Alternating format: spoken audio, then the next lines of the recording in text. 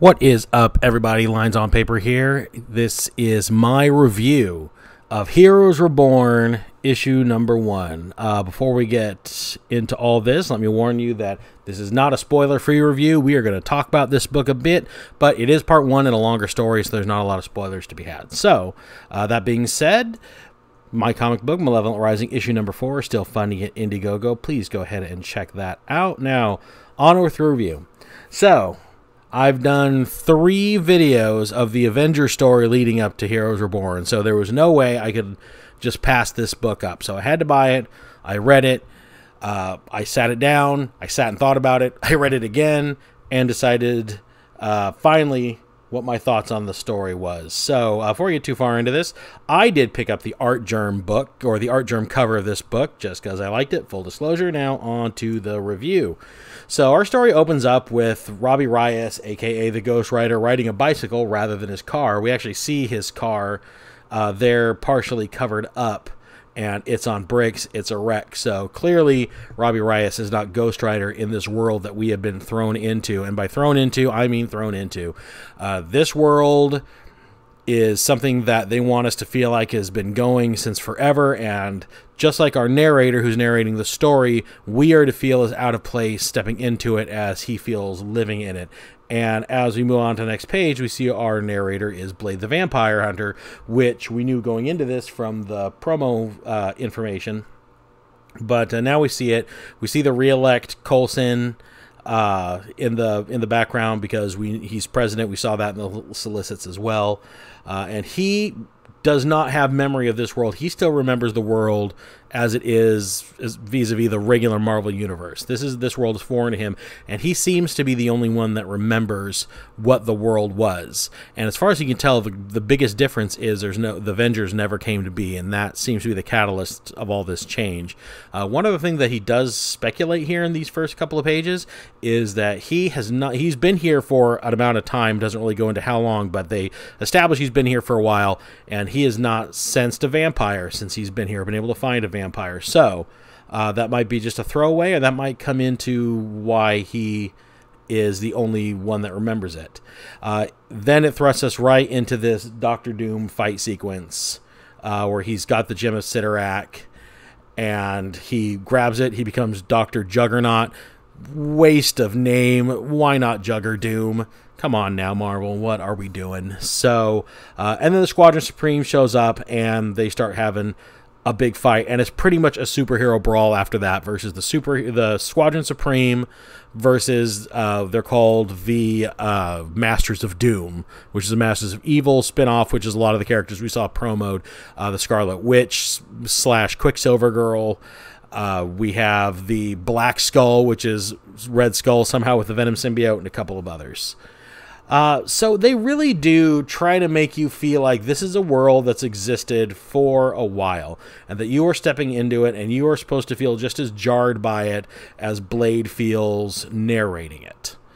So if that makes any sense, so you don't get a lot of you don't get a lot of answers. There's not really any exposition to be had here. How Doom got the gem of Cyttorak, how Coulson became uh, president, even though we see Mephisto and all the solicits down there in the corner, so we have a pretty good idea uh, how the masters how the Masters of Doom were formed, um, how where the Squadron Supreme comes from. Uh, Doom does call uh, Hyperion at one point an alien menace, so that pretty much you know, at least it seems like his history is somewhat intact.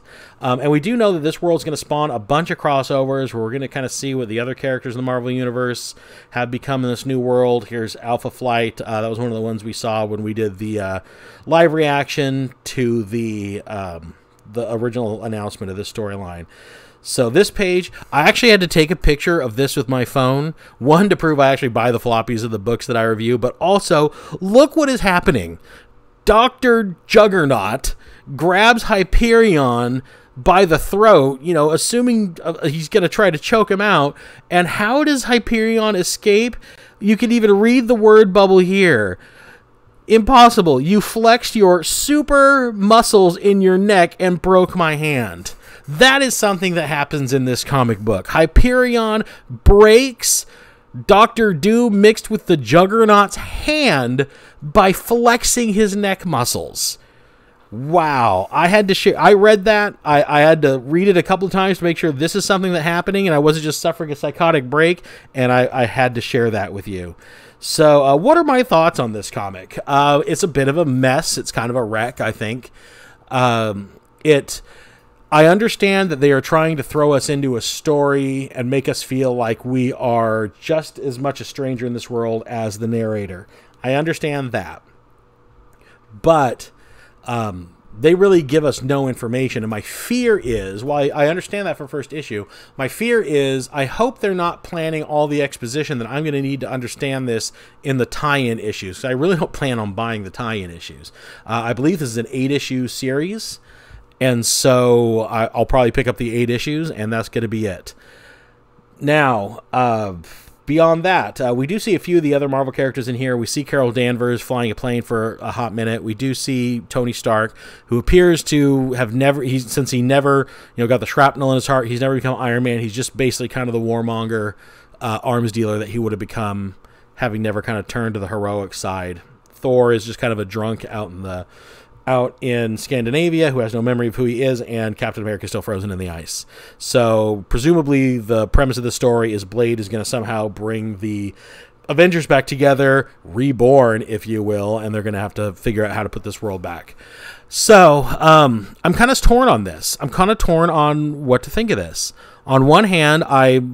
I think it, it was a little cheesy, but it's kind of cheesy in, in the good way, kind of like a classic comic book cheese, Doom getting his hand broken by super neck muscles being flexed, that kind of cheese. I have to appreciate that on some level. So while it's cheesy, I know it's cheesy and cringe as I'm reading it, but I enjoy it.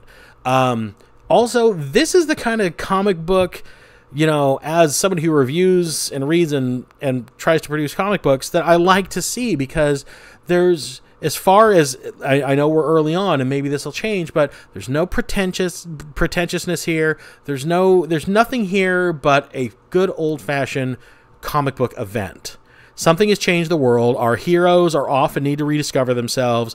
Something resembling the villains have taken over, and something isn't right. And we have Blade here as our guide who's going to put this back together. I still think he is an odd choice for that role. Um, it just seems odd that Blade is this big in a huge line wide Marvel event to me. Uh, it, it, it, he seems out of place. But, you know, um, May, maybe they they explain with the one vampire, or that there's no other vampires. He's the only one. It sounds like there's going to be a reason for it, uh, and I can understand that. I just think he's an odd choice because he always feels kind of detached from the Marvel universe. Uh, he doesn't ever. He feels kind of like Punisher. Punisher always feels detached to the Marvel universe to me because you figure a, a powerful enough supervillain would have taken him out by now. Uh, Blade kind of same thing. He operates in his own little world, and so whenever he plays a, a bigger part of the Marvel universe as a whole, he just kind of seems out of place. He seems weird standing next to the Avengers. You know, them and all their bright colored costumes and everything else, and then him just kind of in his overcoat with his sword. So uh, that being said, I can I, I suppose I could recommend this comic if you. I mean, Ed McGuinness's artwork is solid. It's really cool. It's very kinetic, a lot of action, and this really this whole book is just a superhero brawl. Uh, it's Squadron Supreme versus the Masters of Doom for all but maybe four pages. So check that out. The covers are nice. Um, it's definitely you know my thought of my thoughts on the Avenger story that led up to this. That was an absolute train wreck. So it's too early for me to put pass judgment on what I think of this. Uh, the story's left me confused, but I think it meant to, so I guess that's okay. Uh, the action was good, and and I feel like at its heart, it wants to be something good. That it's it's the heart behind the effort is wanting to put out a good, enjoyable, fun comic book ride. Whether or not it's executed properly mm, or executed well, I should say that's where it kind of starts to waffle. A lot of the elements are just too soon to tell. The things that do come together come together well. The artwork is nice. The pacing is just really breakneck fast, which is makes it a really fast read, um, which is good. So yeah, we'll see. I'll stick with it. I'll probably uh, just give her a big fat review when this is over unless there's some big milestones or something that we need to talk to. But Heroes Reborn number one. If you're a fan of big comic book events, pick it up. If you are not a big fan of big big burly events. Something tells me that this story is going to get resolved, blow over, and have not really a lot of impact in the future. That's kind, and I'm not saying that to denigrate the story. I'm saying that because that's kind of how these alternate content, alternate timeline stories tend to go.